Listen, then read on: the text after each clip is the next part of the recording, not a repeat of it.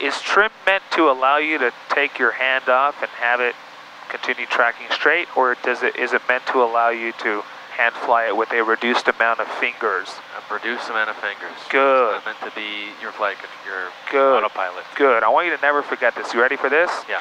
Autopilot allows us to take our hand off. Yeah. Trim allows us to take three fingers off. Do you hear that? Yeah. You could fly it now with two fingers as opposed to all your muscles. Right. So never forget this. We could start turning right. Direct, enter, enter. You can track the thing. Autopilot, auto, autopilot allows us to take our hand off. Right. clear. Trim allows us to take three fingers off. Right. Do you get the difference? Yep. Good. Many people think trim is supposed to achieve autopilot level stuff, and then they're disappointed. Well, my plane's moving. Right. Well, you still need a hand fly. Right. It's just not killing your muscles. Right. Good work.